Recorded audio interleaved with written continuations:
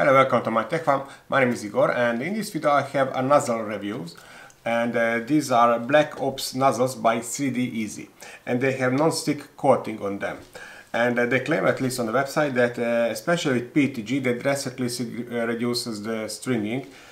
my first answer was uh, that I'm not really sure if I can test this but uh, then I told them that I can do some uh, printing first with a regular nozzle and then with this uh, coated nozzle and uh, using some very old PETG and uh, just show you the results and you have to decide yourself does it uh, really worth extra money buying these uh, nozzles. And I think it is important to mention that this is not sponsored video. I received these nozzles for free just to test it and to present the results but I'm not paid anything about this. I have two MK8 nozzles which will go on my Ender 3V2 which has the MicroSwiss uh, all metal hot end and this is the E3D V6 nozzle which will go on my Prusa MK3S.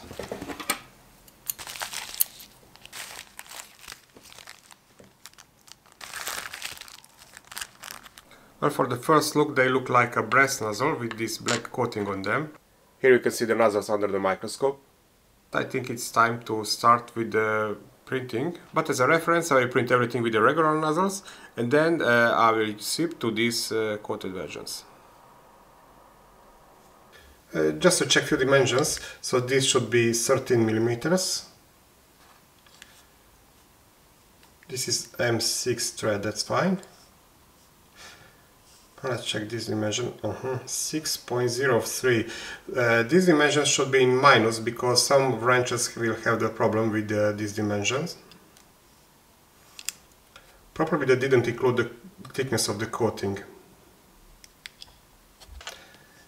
And let's check the E3D. This should be 12.5 millimeters. That's accurate. The thread should be also M6. Fine. Now let's check this dimension for the wrench. And again 7.05. So again uh, the thickness of the coating must uh, be included in this dimension actually. For testing I will use uh, this PETG which is the oldest which I have. I bought it maybe uh, 4 years ago. Usually it is stored in some uh, resealable bag with some silica gel inside. But usually during the printing because of this size it is on open printer. The first test will be printed on NSV2 where I have this MicroSwiss direct drive and all metal hot end and this is their uh, nozzle which arrives with the kit. This is some wear resistant uh, plated nozzle.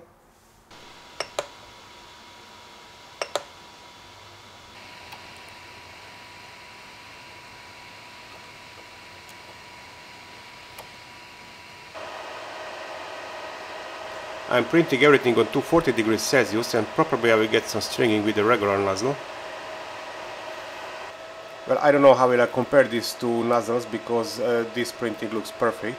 Maybe I will try different stringing tests with only two towers and they will be closer to each other. It looks like I have some minimal stringing at the end.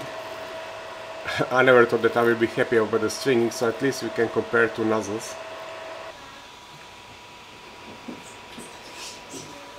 I will mark it as number one and uh, I will print the other one and then I will compare them side by side. It's time to remove the nozzle so I'm heating up uh, the hot end and I will remove the filament first. For this nozzle which is inside I need this 7mm wrench which is great because the nozzle will stay inside but for this uh, I need to use this 6mm open end wrench and it's a little bit tight probably because of the coating. Oh, I forgot to remove the silicone sock. I'm holding the block from the side and I pay attention because there are some wires for the hot end and thermistor. Be careful, this is very hot now. And now the Black Ops nozzle, uh, theoretically I should wait until it cools down, but uh, I don't want to waste too much time, so I'll be very careful. And it really became hot very quickly. But now I can finish with the wrench oh not this one.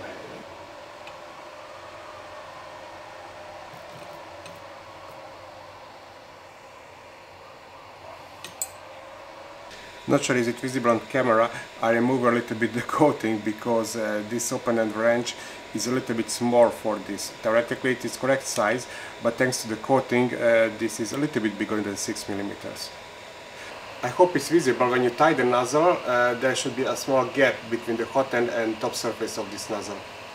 Let's insert the filament. Now theoretically I should set the Z offset again, but I will just uh, raise it a little bit and uh, set it on the fly during the printing. Printing with the same G-code.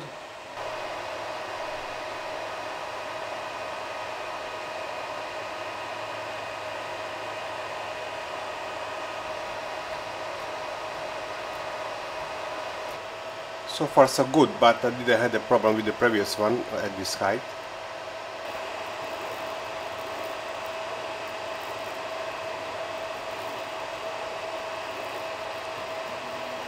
And printing is finished.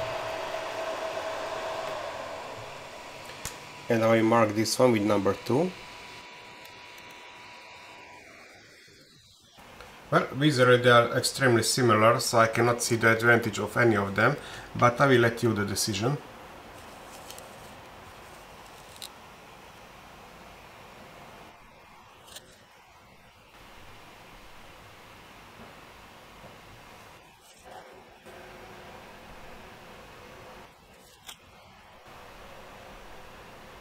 And now removing of the nozzle.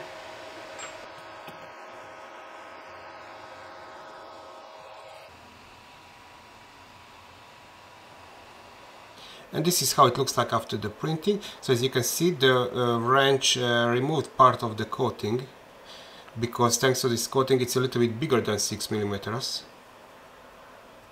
In my next printing I will print everything on Prusa Mark 3S and this time I will print a 2 tower stringing test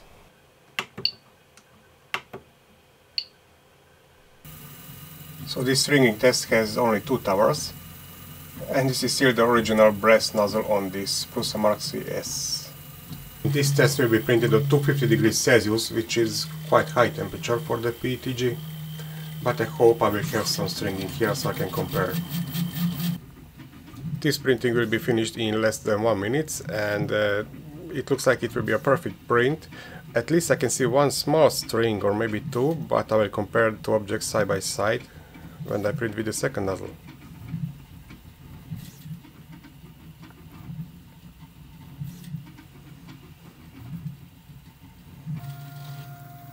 and the printing is finished and it looks like this is almost perfect print. One small string I can see somewhere in the middle, but I will print with the second nozzle and compare them side by side. And I will mark this with number 1. This is printed with the regular brass nozzle. Now let's replace the nozzle. I'm moving the z-axis higher. And I'm starting with removing the part cooling fan and this fan shroud.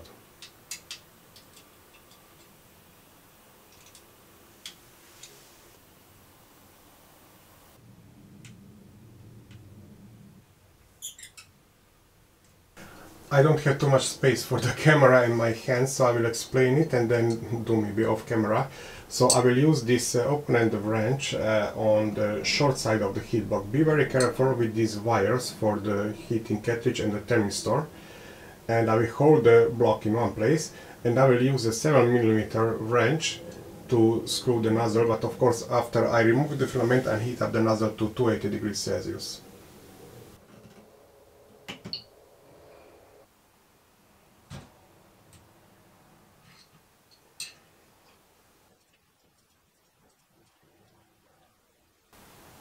The black OPS nozzle.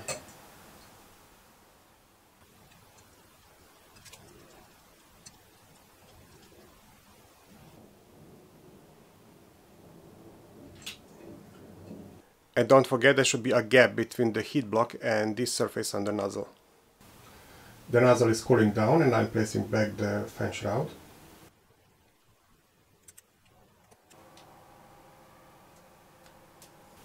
And placing back the fan.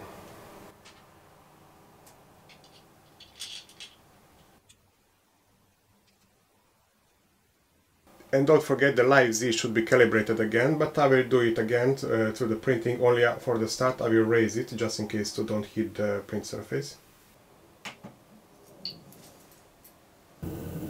Everything is okay so far, so we will see in few minutes. But currently from here I cannot see any significant difference. Maybe a few more strings, but I'll wait until it's finished and uh, on a daylight I will compare two objects. Printing is finished and I will mark with number 2.